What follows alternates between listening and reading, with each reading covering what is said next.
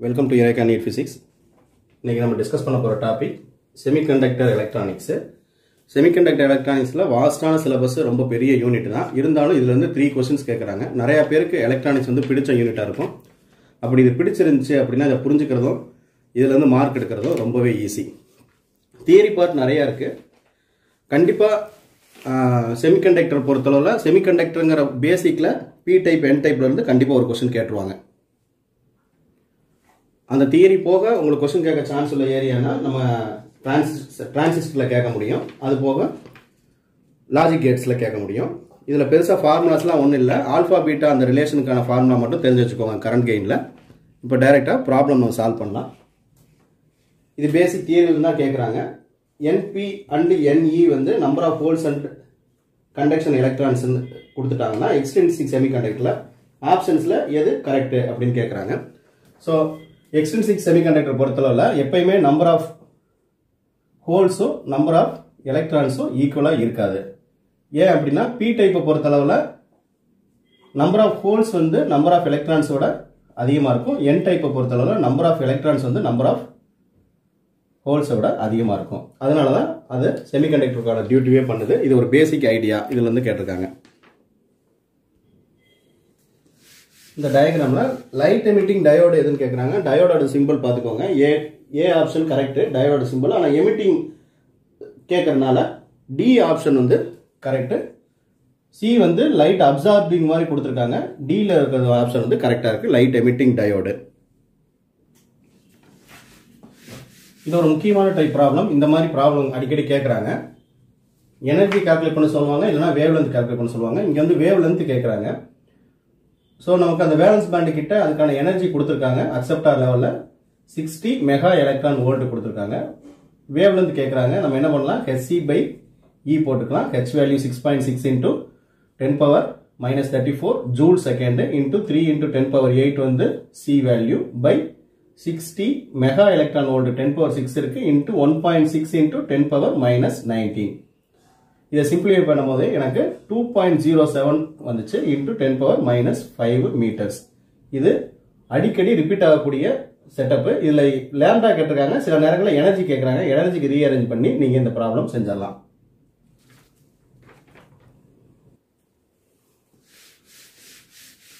ஜெர்மானியத்தை வந்து டோப் பண்ணுறோம் அதோட டோப்பிங் டென்சிட்டி வந்து ten power seventeen centimetre cube இருக்கிற மாதிரி. அப்போ அதோட கண்டக்டிவிட்டி கேட்குறாங்க. Conductivity sigma equal to N I E mu E mu E value டைரெக்டாக கொடுத்துருக்காங்க. அப்போ இதில் நம்பர்ஸ் எவ்வளோ இருக்குது டென் பவர் செவன்டீனு சென்டிமீட்டர் கியூப்ல இருக்க ஆன்சரும் மோ பர் சென்டிமீட்டர் இருக்குன்னா நான் கன்வெர்ட் பண்ணேன் into one point six into ten power minus nineteen இது three thousand eight hundred multiply பண்ணிங்கன்னா சிக்ஸ்டி பாயிண்ட் எயிட்டி எயிட் வருது. இந்த ரெண்டு ஜீரோ இந்த ரெண்டு ஜீரோ ஆட் ஆகும் இது கேன்சல் ஆயிரும். இது இதை மட்டும் மல்டிப்ளை பண்ணால் போதும். Sixty point eight mho per சென்டிமீட்டரில் கொடுத்தனால நம்ம அப்படியே எழுதிக்கிறோம் பாருங்க இந்த கொஸ்டின் ஒரு வித்தியாசமாக இருக்குது இந்த டைப்பில் கொடுத்துருக்கிறது வந்து செவன் பை ஃபோருங்கிற ரேஷியோ கொடுத்துருக்காங்க. அது என்ன அப்படின்னா கரண்ட் எலக்ட்ரான் கரண்ட்டுக்கும் ஹோல்ஸ் கரண்ட்டுக்கும் உள்ள ரேஷியோ வந்து செவன் பை ஃபோர் கொடுத்துருக்காங்க. இதே மாதிரி drift velocity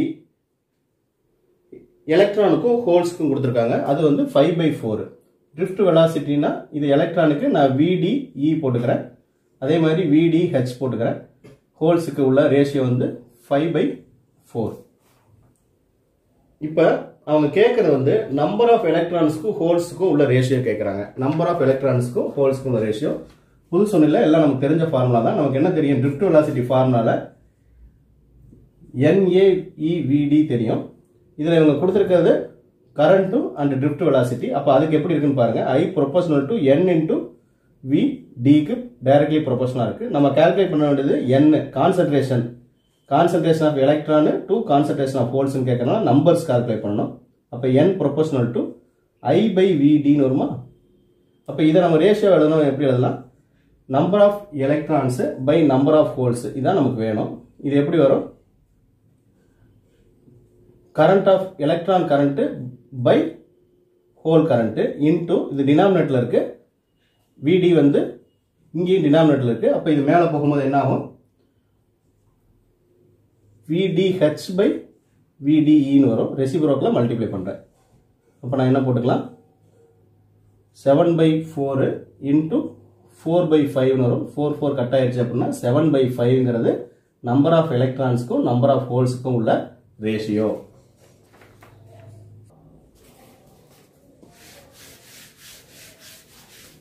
டிரான்சிஸ்டர்லேருந்து current gain of a transistor in common base mode 0.95 alpha value கொடுத்துட்டாங்க. காமன் எமிட்டர் மோடில் என்னன்னு கேட்குறாங்க ஸோ ஆல்ஃபா வந்து பாயிண்ட் நைன் ஃபைவ் இருக்குது பீட்டாக்கான formula alpha minus one by alpha so point nine by nine five by one minus point nine five இது point nine five by zero point zero five வரும். மேலே கீழே ஹண்ட்ரடால் multiply பண்ணால் simplify பண்ண ஈஸியாக இருக்கும். பீட்டாவோட value nineteen transistor வந்து இந்த கொஸ்டின் பாருங்கள் பீட்டா வேல்யூ கொடுத்துட்டு பேஸ் கரண்ட் கொடுத்துட்டாங்க. கலெக்டர் கரண்ட் கேட்குறாங்க so current gain beta equal to del IC by del IB இப்போ நமக்கு கலெக்டர் கரண்ட் வேணும். Del IC is equal to beta into del IB இதோட வேல்யூ ஃபார்ட்டி இது hundred micro ampere அப்படியே தான் வச்சுருக்காங்க ஆன்சரில் நம்ம அந்த ஆப்ஷனை சூஸ் பண்ணிக்கலாம். இந்த ஃபார்முலா மட்டும் தெரிஞ்சிருந்தால் போதும். டிரான்சிஸ்டில் எல்லா ஃபார்முலாவுமே ஒரே ஒரே மாதிரி தான் இருக்கும். சிம்பிளானது இன்னும் இன்னும் ஒன் ஆர் டூ ப்ராப்ளம்ஸ் டிரான்சிஸ்டில் பார்க்கலாம். ஸோ இந்த கொஸ்டின் வெயிட் பண்ணி பாருங்கள் காமன் எமிட்டர் மோடு ஒரு டிரான்சிஸ்டருக்கு கலெக்டர் சப்ளை வந்து எயிட் ஃபோல்ட் எயிட் வோல்ட் கொடுத்துருக்காங்க. Voltage drop across resistor eight hundred watt கொடுத்துருக்காங்க. எயிட் ஹண்ட்ரட் ஓம்ஸ்னு மாற்றிக்கணும் எயிட் ஹண்ட்ரட் ஓம்ஸ் ரெசிஸ்டன்ஸு கலெக்டரில் கலெக்டரோட வோல்டேஜ் ட்ராப் வந்து point five volt current gain factor alpha வந்து பாயிண்ட் நைன் சிக்ஸ் இருந்துச்சுன்னா பேஸ் கரண்ட் கேட்குறாங்க ஸோ நம்ம கால்குலேட் பண்ண வேண்டியது வந்து பேஸ் கரண்ட்டு பேஸ் கரண்ட் எதுலேருந்து கால்குலேட் பண்ண முடியும்? ஐபி நமக்கு வேணும். ஐபி நம்ம எதுலேருந்து எடுக்கலாம் அப்படின்னா நமக்கு தெரியும் beta equal to IC by IB அப்போ IB equal to IC by beta இதுதான் நமக்கு தேவை. இப்போ இதில் ஐசி பீட்டா ரெண்டுமே நம்ம கால்குலேட் பண்ணோம். ஸோ பீட்டா எப்படி கால்குலேட் பண்ணுறேன் alpha minus one by alpha by one minus alpha alpha value கொடுத்தனால. அப்போ zero point nine six by one minus zero point nine six equal to zero point nine six இது zero point zero four வருமா? Cut பண்ணோம்னா beta equal to twenty four கிடைக்குது okay IC எப்படி பண்ணலாம்? ஐசிக்கு வந்து வோல்டேஜ் ட்ராப்பு பை ரெசிஸ்டன்ஸ் போட்டுக்கலாமா? VC equal to IR ohms லாவை மாற்றி எழுதியிருக்கோம். அப்போ வோல்டேஜ் ட்ராப் என்ன கொடுத்துருக்காங்க? பாயிண்ட் ஃபைவ் கொடுத்துருக்காங்க அக்ராஸ் இந்த ரெசிஸ்டருக்கு ரெசிஸ்டர் யூனிட் தப்பாக கொடுத்துருக்காங்க. கன்வெர்ட் பண்ணிக்கோங்க. Point five. அப்போ இது zero point six two five into ten power minus three ampere வந்தது. இப்போ இதை ரெண்டையும் எடுத்து இதில் சப்ஸ்டிட் பண்ண வேண்டியதான் so IB equal to zero point six two five into ten power minus three divided by twenty four இதை சிம்பிளிஃபை பண்ணால் எனக்கு டுவெண்ட்டி சிக்ஸ் வருது. Twenty six into ten power minus six அப்போ நான் எப்படி எழுதிக்கலாம்? டுவெண்ட்டி சிக்ஸ் மைக்ரோ ஆம்பியர் ஐபிக் தேவையான ரெண்டுமே நம்ம கேல்குலேட் பண்ணுற மாதிரி இருக்குது கொடுத்துருக்க ப்ராப்ளத்துலேருந்து.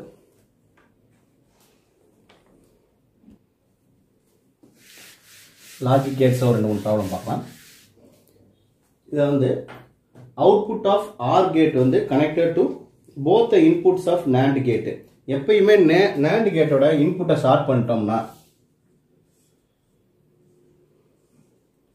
இன்புட்டை ஷார்ட் பண்ணிட்டாலே என்ன ஆயிரும் அப்படின்னா இது வந்து நார் அதாவது ரெண்டுமே கனெக்ட் பண்ணிட்டோம்னா இது வந்து நாட் கேட்டாக பிஹேவ் பண்ணும். ரெண்டு இன்புட்டை இவங்க என்ன சொல்கிறாங்க ஃபஸ்ட்டு ஒரு ஆர் கேட்டோட ரிசல்ட் எடுக்கிறாங்க. ஆர் கேட்டோட ரிசல்ட் எடுத்து போத் இன்புட் ஆஃப் நேண்ட் கேட்டுக்கு இவங்க கொடுத்துட்றாங்க. கொடுத்துட்டா அப்போ இதோட ரிசல்ட் இங்கே என்ன கிடைக்கும் நமக்கு? இது வந்து ஏ ப்ளஸ் பி கிடைக்குது. இந்த ஏ ப்ளஸ் பியை இதில் உள்ளே விடும் போது இது வந்து நாட் கேட்டாக பிஹேவ் பண்ணும். அப்போ நாட் கேட்டுனா நாட்டும் இதுவும் சேர்ந்து நார் கேட்டோட ரிசல்ட்டை கொடுக்கும். அப்போ நார் கேட்டோட ரிசல்ட் வந்து ஏ ப்ளஸ் பி பார் இப்போ ஏ ப்ளஸ் பி பாருங்கிறது இங்கே நீங்கள் நார்கேட்டுன்னு சொன்னாலே போதுமானது.